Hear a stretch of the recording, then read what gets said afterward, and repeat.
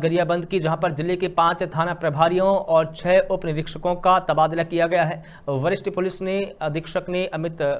तुकाराम कामले ने आदेश जारी किया है बता दें कि भोला सिंह को छोरा के पांजुका ट्रांसफर किया गया है वहीं होलीराम रात्रे को गरियाबंद पवन वर्मा को अमली पदर से शोभा विजेंद्र कुमार को राजिम से फिंगेश्वर में तबादला किया गया है